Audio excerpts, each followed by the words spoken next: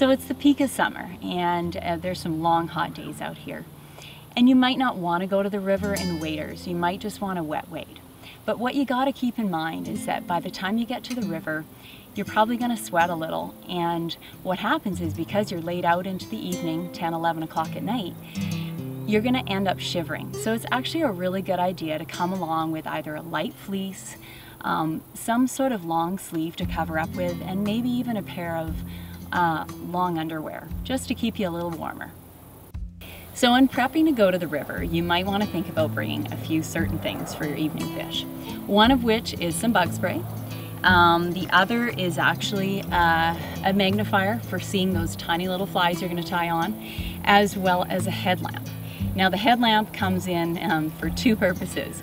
One is to not only see when you're tying on flies, um, but the other is actually when you're walking back. And the reality is it's gonna get dark, you're gonna need to see. And let me tell you, um, things look a lot different in the dark. So keep that in mind, you know, pay attention to things like gates and fences and, you know, other things that um, you have to go through on your way in to get to the river um, so that you can prepare for them on the way out.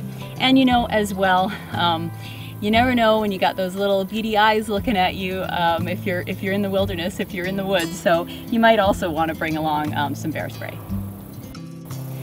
So let's talk about the actual fly fishing gear setup. You're going to want a nine foot, three to five weight rod.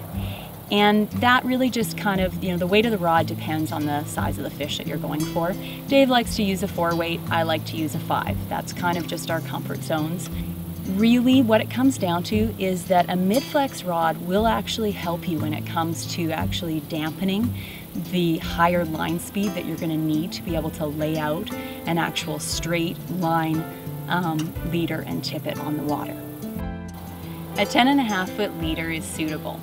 You want to start with a 9 foot taper to 3 or 4x and then you're going to add on about 18 inches of 4 or 5x. And the biggest thing that you need to remember with the tippet is that it needs to be supple. It needs to be able to float and drift really naturally in the water.